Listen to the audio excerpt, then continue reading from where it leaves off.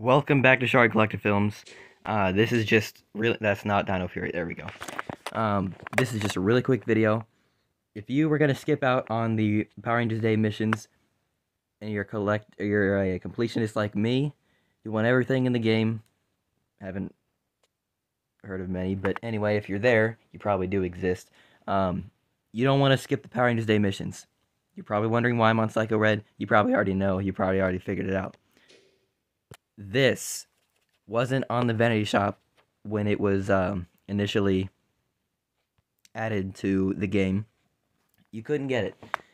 This morning, I saw a global match of a Lord Drakkon player, which was awesome, fighting a Psycho Red using the Psycho Black skin.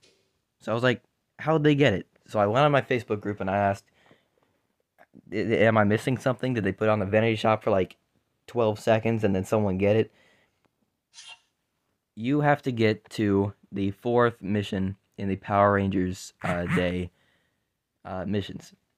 And really it's six, but the the first part of three for the fourth part gives you the Psycho Black skin.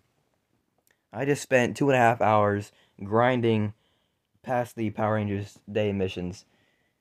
If you want the Psycho Black skin, get grinding now. It's only on for another three and a half days. Shard Collector Films out.